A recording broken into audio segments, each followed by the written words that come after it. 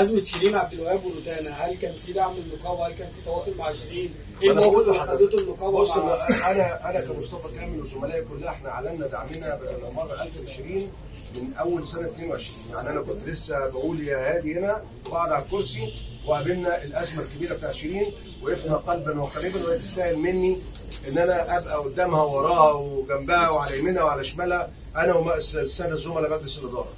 آه، الأمور راحت لحتة مش بتاعتنا لازم تنسحب أنا بقول لك مش ما ينفعش ما ينفعش ابدا تكون عايز تبقى موجود بالعافية. يعني يعني في أمور مش بتاعتنا خالص. خلاف بينها وبين جوزها. دي في القضاء دلوقتي. آه ما دي بينها وبين جوزها خلافها مع روتانا دي أمور مالية ومادية. النقابة تساعد في موقف زي مثلا أنا اللي بشوفه أكتر موقف كان موقف يستاهل تدخلنا كنقابة هو كان موقف زميلي محمد فؤاد لأنه أمر عارض وأمر وارد إنه يحصل مع أي حد فينا حتى أنا.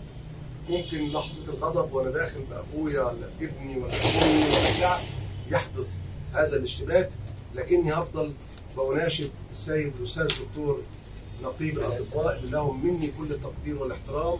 أطباء مصر العظماء هفضل بناشده وبناشد السيد الأستاذ الدكتور رئيس جامعة عين شمس إن يعني إن الأمر ده يعدي على خير لأن محمد فؤاد عشنا العمر معاه كله مش عشان هو صديقي ولا زميلي ولا عشان كنا بنشتغل. محمد فؤاد. أنا آه، بشتغل معاه من سنة 91 لا عمري شفته بيعمل الحاجات دي ولا كان ليه في الحاجات دي. هي بتبقى ضغط نفسي عصبي متبادل بين الطرفين.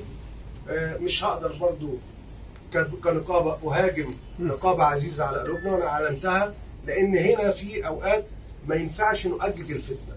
يعني في دور ال- ال- المقاعد دي يا جماعة والكراسي اللي إحنا قاعدين عليها دي زي ما قلنا لحضراتكم وسادتنا إن هي لها أدوار اجتماعية وصحية ومعيشية و... لكن هي هي في النهاية مقاعد تعتبر مقاعد دبلوماسية.